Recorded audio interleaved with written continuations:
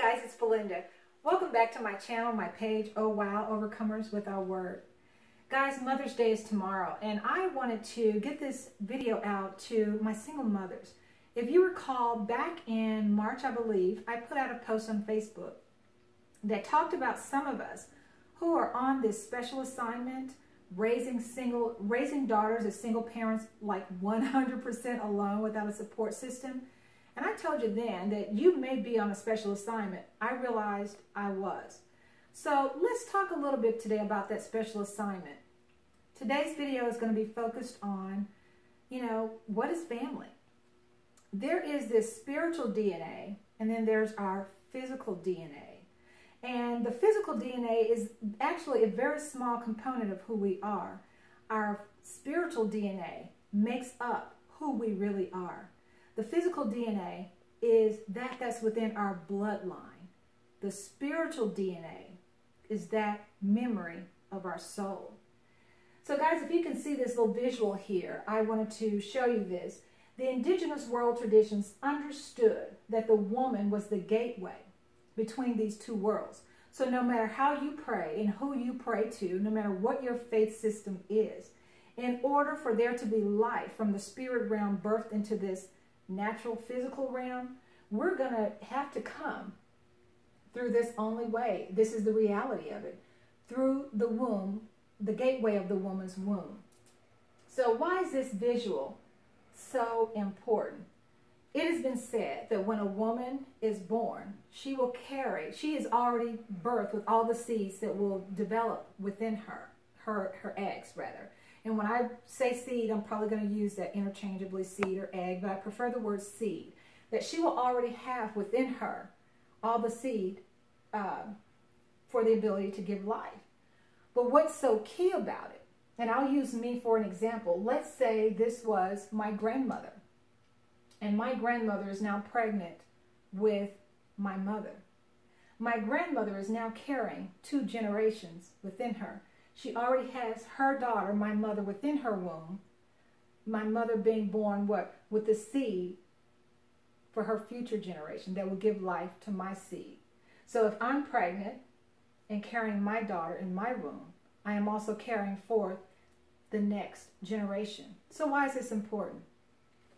Guys, I didn't have the best childhood, and I'm not here to discuss that because it was all purposeful. It all worked for my good. Whether I thought it was, wasn't, it did. A lot of us, I told you before on another post, we're paying some debts that don't belong to us. And why do I say they don't belong to us? There's some things that are happening in our family lines that we don't understand where they came from. And we tend to look at our immediate family and we'll see situations that we're dealing with and we're thinking that, oh, this is something that just stem with mom or dad. But guys, when you hold on to secrets, when there are things that we haven't worked out, when we haven't forgiven, when we haven't healed, they're going to keep passing on to subsequent generations until somebody takes a turn and says, hey, I want this to stop with me. So what is some of this family karma that gets passed on? These shadows that we're living in.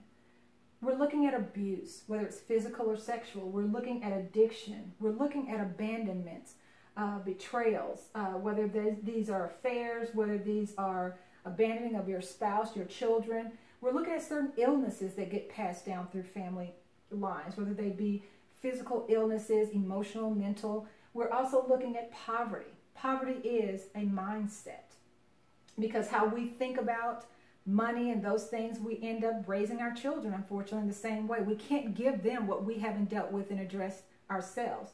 And then there's also the violence uh, that may have happened in our family lines. So there's some family karma and debt that if we don't deal with, it's gonna it's gonna keep passing generation to generation. So guys, for me, I didn't have the best childhood. I didn't have a close relationship with my mother. I didn't have the best uh, relationship with my dad. He was a busy man working, but he also suffered with his own shadows that he was living uh, through. My dad was a little bit more vocal than my mother. He often talked about what it was like growing up and the things he desired and didn't get an opportunity to do because of his the time period within which he was raised. and they were still working in the fields. They didn't have an opportunity like we had today to get education. When the season was time to work, they got pulled out of school. So my dad didn't finish his education. He had dreams of also playing uh, basketball. He didn't get to live out a lot of who he thought he was sent here to be. Unfortunately, also with my mother, she was very closed off uh, emotionally, physically. And I can recall even in my elementary years, I would question her about things and she just wouldn't answer. And if my mother thought that on the other end of that question was going to be some sort of uh, dig or, or attack at her or some critique, she definitely wasn't going to answer because her mindset was, I'm not going to allow anybody to ever make me feel guilty about who she was or things she had done. So I didn't get those answers. But your soul, guys, the memory that is in your soul kept telling me otherwise about some questions that I had in my life. Things just weren't like making sense.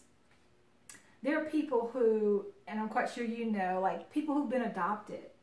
They can kind of almost look like, hmm, I know this is my family, this is all I've ever known, but something in their soul will tell them something about it doesn't feel right. Your soul is that part of you that will never lie to you. It is that space that will always come to you from that pureness of what you came into this earth realm with. So while I was looking at that, I had these questions, but I also knew we were dealing with a lot of this in our family, uh, my immediate family. But let's talk about what family is. We come here and we so, a lot of us spend so much time in church and we talk about this spiritual side of us that we're here to uh, we're spiritual beings here to have this natural experience. But I think we really push that spiritual side of us so far to the back, and all we focus on is this this immediate thing that we can see, our physical DNA. Those people that look like us, those people that live in our house with us. But I'm going to tell you, even on the physical side, family is more than what you think it is. So what's family? We have this biological family, and that's going to be comprised of our mom, dad, sisters, brothers, cousins, aunts, uncles, grandparents the biological. You're going to also have those that are going to be related by law or by marriage. So those that are being wedded into the family, your in-laws, those that are being adopted into the family. We have friends and lovers that we are so close with that we do what? Engraft them into the family. And then we have this bottom category that a lot of people don't like to focus on. Those of us who have had, and you mothers that are doing this, I'm going to tell you it's very crucial. You need to be honest with your children about who their real fathers are. You know, a lot of times we want to give dads a lot of grief about affairs or creating illegitimate children, but they had those children with, with some woman. And there are a lot of secrets that our families are holding on to, of secret lovers that they had, and secret families, and um, illegitimate children that came from some of your love affairs and some of the children that you either abandoned or gave up. Guys, this still creates karmic debt that has to be worked out. Why? Based upon your secret lovers and your secret families, you don't think you operate as a mother or a father differently with your children? Why? Because you want to keep that secret hidden up. Hidden. Is it be, uh, because you're afraid you'll be judged or be seen in a different way. I, I don't know your motive for doing those things, but guys, it creates karmic debt. And those people now that you created these relationships with have now been what? Grafted into your family. There's also one other category that I didn't put in here. Let's say um, you have a family member, a biological family member, or an adopted family member, or somebody's married in by law that suffered uh, a rape whether you even know it or not, the rapist now is engrafted into this family line. Why? Because how this woman now lives her life, how she operates in this world has been impacted by this incident. Whether we're silent about it, whether we're trying to keep it under the rug, these things have to be dealt with. So I want to talk about a scripture. I think it's in, uh, let's see my scripture reference here, Luke 8 we have a reference of Jesus. He's out and about teaching the people. And there's a large crowd around him. And all of a sudden, some of his disciples come up to him and they're like, Jesus, your mom, your brothers, they're looking for you. And in the midst of that, Jesus stops and he says, Who's my mother? Who's my brother? But these that are here in front of me. These are what seeking to do the will of the Father. What Jesus was letting them know, family is spiritual. And that had his mother and his brothers, those natural ones that they're referring to, been a part of this spiritual DNA, they would be where? Right here where the people were, eager to learn about the things of the Father. So guys, have you identified who your spiritual family is? In the in the scriptural world, in the religious world, in biblical terms, they call a lot of what we see here generational curses. In the world of psychology, they call it pathology. But in any event, if it's not dealt with, it's going to continue passing down generation after generation until someone will be bold enough, brave enough to answer the call to do what? The work of forgiveness, to for forgive this. While my mother may not quite answer me on the questions that I put before her, I don't have the benefit now, and I haven't had the benefit of my grand, maternal grandmother for a long time to go back to get those questions. Why? Because that's the person who raised my mother. I didn't have the benefit of that.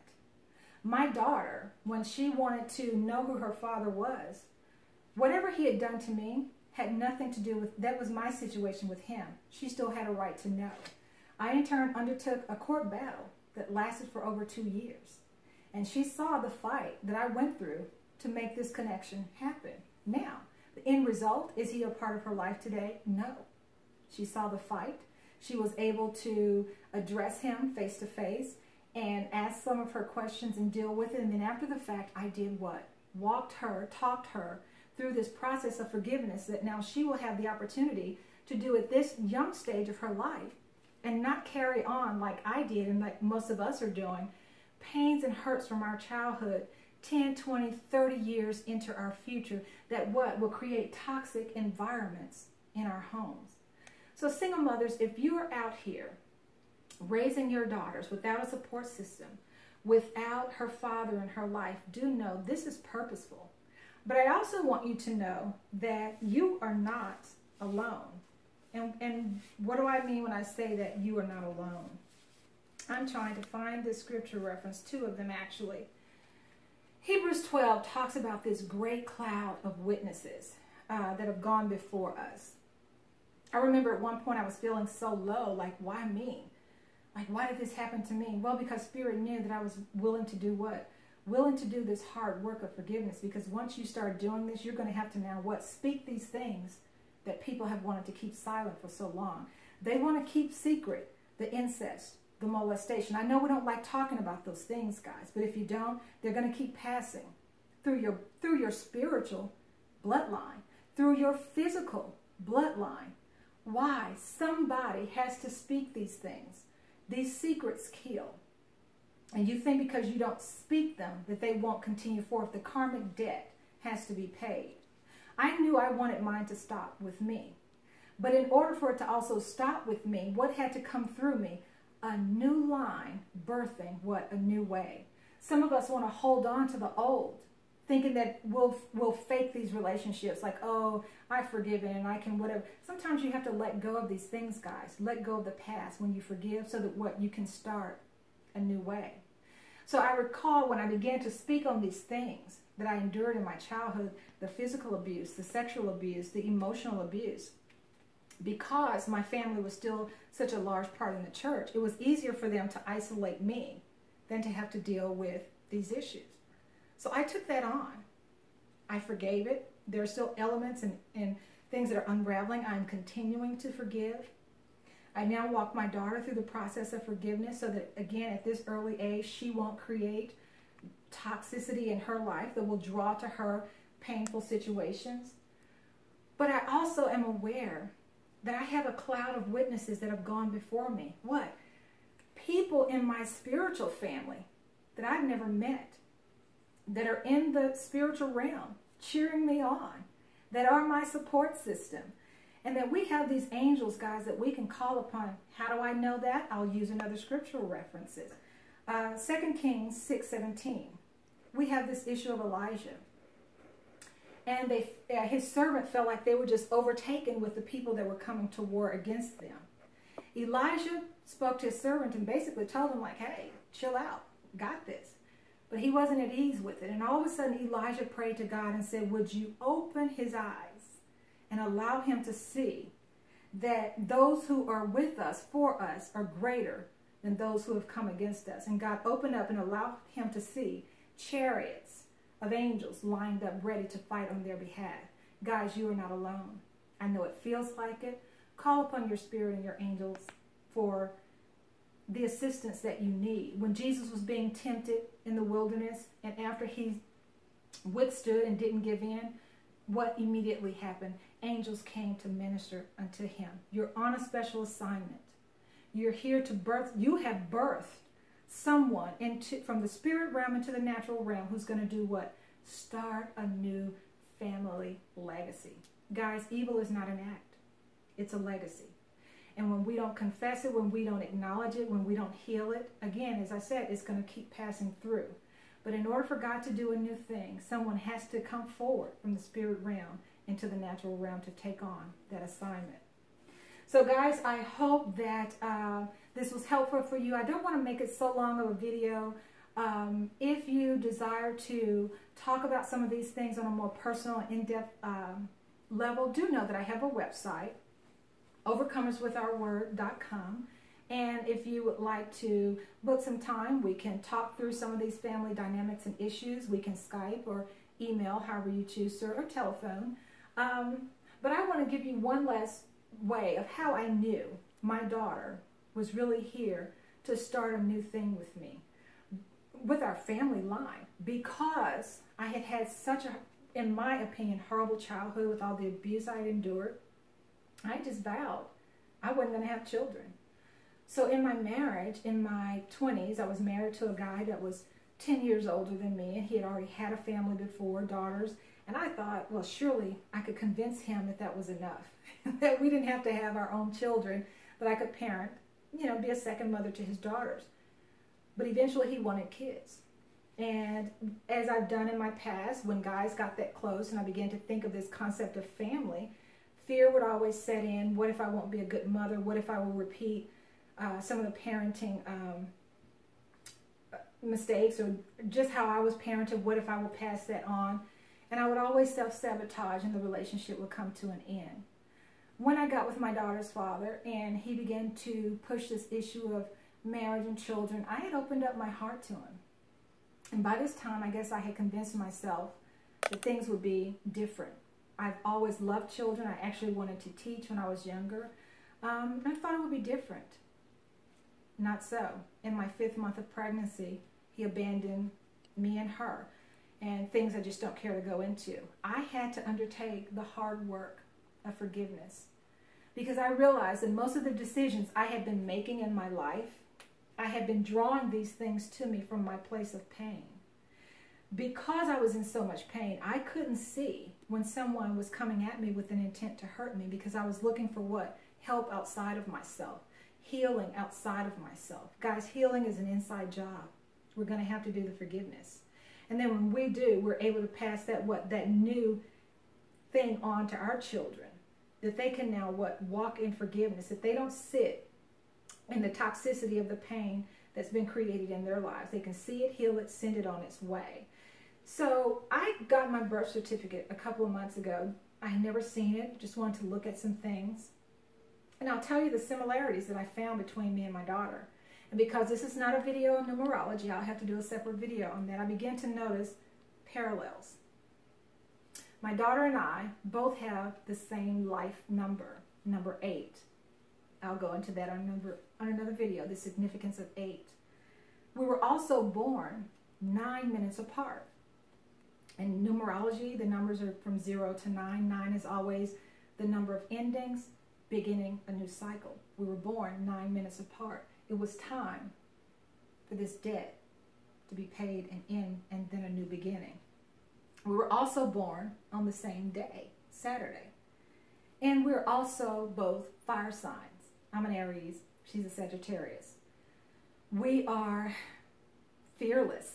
We are warriors. We are assertive. We take on these challenges. We will fight for a cause.